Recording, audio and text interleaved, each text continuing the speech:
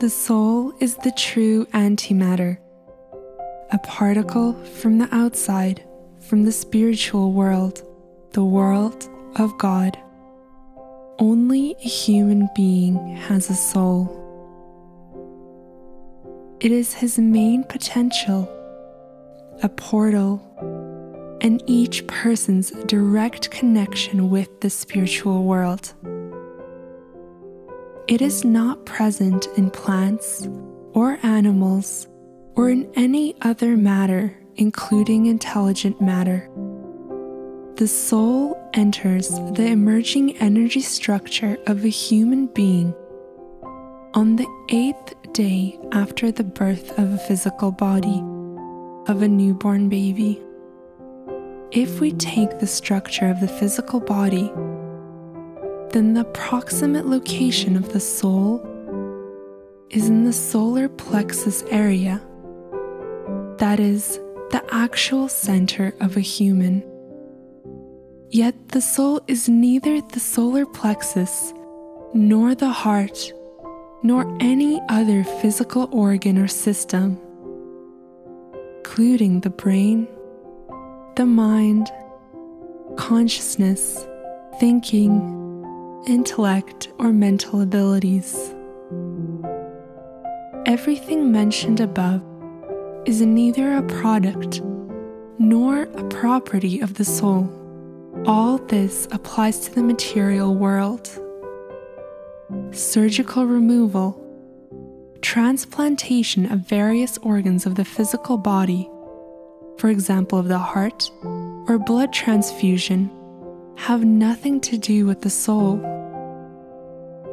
I emphasize that it is located in the energy structure of a human being and not in the physical part of this structure. Every human being has one soul. It is single and indivisible. There is no difference between the soul of a man or a woman. The soul has no gender. Souls of all people are identical in their nature. And in this sense, we can say that people are very close and kindred to each other. The soul is not matter, it does not wear out, does not get old or sick. It is perfect in relation to the material world but it is not perfect enough individually in relation to the world of God.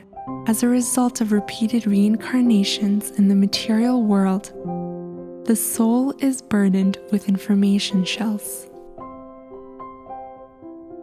Information shells, which are located around the soul, are sensory and emotional bundles. More specifically, an intelligent information structure that can associatively be compared to a kind of nebula. To put it simply, these are former personalities from the previous incarnations. There can be many such subpersonalities near the soul, depending on how many reincarnations that person has had. In the photo from the book Allatra, we can see a human soul in transition state after the death of a physical body. In the photo of the soul, the edge shell is clearly visible. It consists, when going deeper towards the sphere, of red color, the remainder of vital energy prana, as well as of yellow and whitish yellow colors of other energies. The spherical form itself is sky blue with shades of light green.